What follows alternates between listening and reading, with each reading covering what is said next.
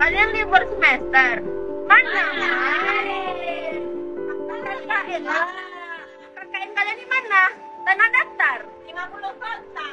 Oh, lah. Air nggak ada. Mandi di musola.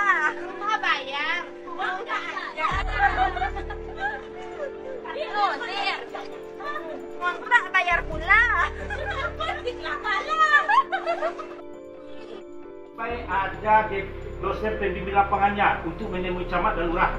Jadi ya, adik-adik dianggap tidak menerima KKN di Bugis Barat untuk musuh TPL 8 sampai ada penyelesaian nanti oleh dosen pembimbingnya kepada kami, kepada lurah dan kepada bapak camat.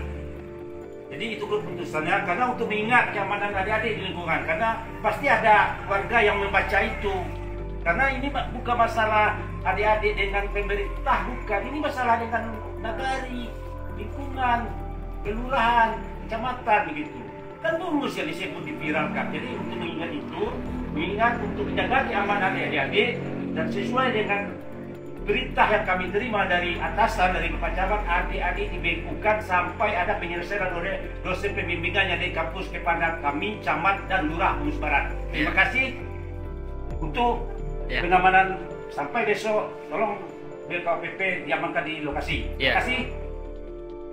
Itu keputusan kami pada hari ini. Rapat kita tutup.